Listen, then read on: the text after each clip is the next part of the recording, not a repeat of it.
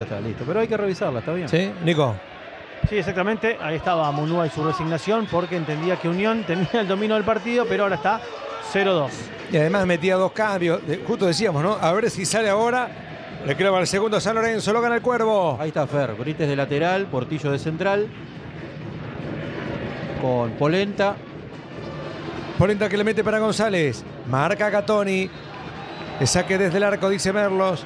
Se que le pegó en la pierna y queda dolorido González. Sí, está muy dolorido, por eso Merlos pide el ingreso de los médicos y ahí están rápidamente.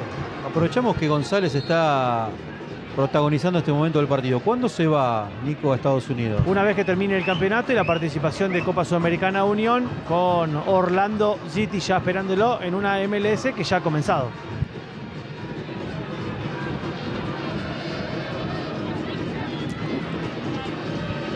Sí, se, se dobla la rodilla. ¿eh? Sí, sí, no tiene nada que ver Gatoni. Merlos lo saca rápido creyendo que había una intervención de, del hombre de San Lorenzo, pero tiene que ver con, con esa acción que vemos. Seguramente en la, en la revisión de la acción del gol de Gatoni se habrá observado la posición de Blandi, porque entraban dos o tres jugadores de San Lorenzo. Pero Gatoni está habilitado, ¿no? No, no tiene más cambios Unión. ha No tiene más cinco. cambios, Sonia. Se torció la rodilla. Muy dolorido, ¿no? Rodilla izquierda. Y algo le dice uno de los colaboradores del cuerpo médico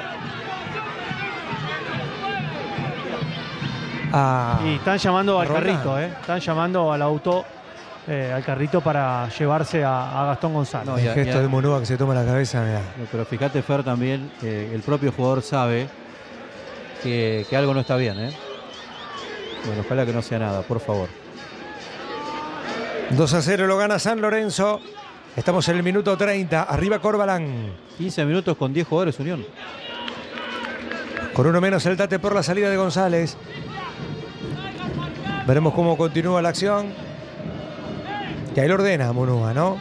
Ahora está hablando con todos. Primero habló con Corbalán y con Polenta. Ahora empieza con los mediocampistas. Recién le marcaba eh, la posición a Kevin Zenón. Ya no tan abierto, sino algo más cerrado. Claro, a Buca un poquito más atrás, lo Y manda. Gallego de punta. Sí. Terminar con un 4-4-1. En tres minutos, Fabi, de una Unión dominando el partido. Los cambios para hacer un poquito más profundo. El gol en contra y esta lesión de González que lo deja. Veremos si puede. Me parece que no. Munúa. No, no. Munúa, Munúa movió fichas en función de la necesidad y los cambios de San Lorenzo también. Y tras cartón, frase que nunca se dijo, pero la repito, vino el gol de San Lorenzo. No pudo Zenón con Ceruti. Ceruti que abre por aquel costado para mal con Braida. No puede destacar. Acompaña.